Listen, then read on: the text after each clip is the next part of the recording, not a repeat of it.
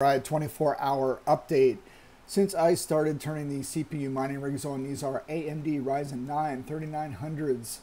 I have one 3950 in the mix, so about five total. Nothing great, nothing to sneeze at. Uh, big hobby. So look, I'm actually up making uh, current actual profitability 24 hours $10.33 a day on NiceHash. So these are CPU mining rigs on NiceHash.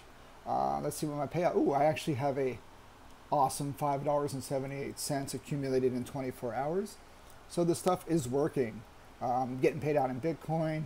So it is a way to go, man. Whoever thought it would be profitable to do CPU mining again? CPU mine again.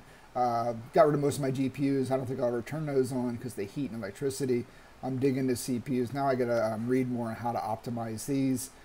Yeah, more research time squeeze more juice out of them. All right, guys, keep mining.